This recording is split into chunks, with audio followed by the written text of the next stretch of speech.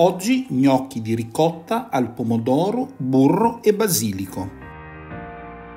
Sì, io uso la planetaria anche per fare l'impasto. Metto la ricotta, aggiungo due uova, come al solito vi lascerò tutti gli ingredienti e il procedimento qui sotto in descrizione aggiungo il parmigiano reggiano grattugiato, quello buono perché questo ingrediente a mio modo di vedere fa la differenza assieme alla ricotta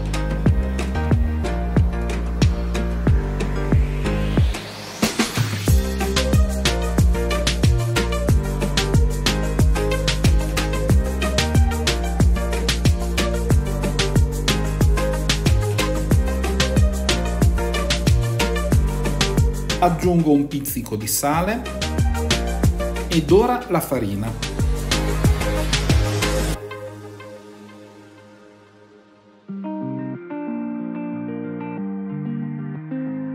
Metto la foglia sulla planetaria e comincio ad impastare senza andare troppo veloce. Vedrete ci vorrà un minuto, un minuto e mezzo. Non vi preoccupate se l'impasto vi sembra troppo lento perché tanto quando farete i gnocchi aggiungerete un poco di farina sul piano da lavoro.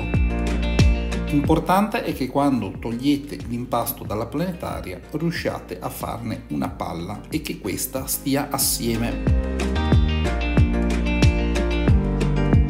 Nel mentre ho spolverizzato la spianatoia con un poco di farina, ma se volete potete usare anche la semola e con dei pezzi dell'impasto ho fatto i filoncini.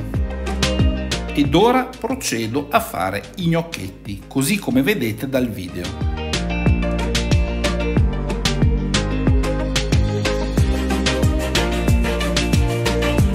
La grandezza dei gnocchetti dipende dal vostro gusto. C'è a chi piacciono piccoli, c'è a chi piacciono un poco più grandi, come al sottoscritto.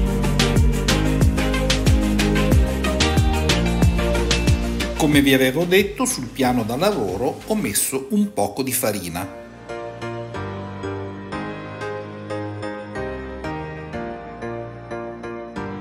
Quando avete fatto tutti i gnocchetti, li mescolate un poco e se vi pare che si attacchino un poco, aggiungete leggermente un po' di farina.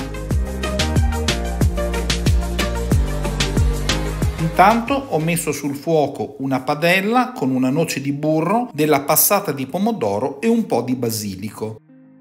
E come vedete ho già cotto alcuni gnocchetti e li ho messi nella padella. Tengo alcuni gnocchetti da parte perché qualcuno li vuole burro e salvia ed ora proseguo la cottura di tutti i gnocchetti.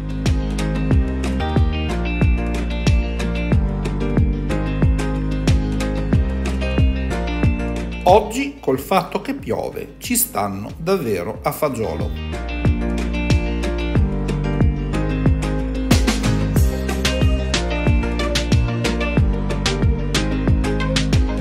Bene amici, ci siamo. Provateli anche voi, sono davvero buonissimi.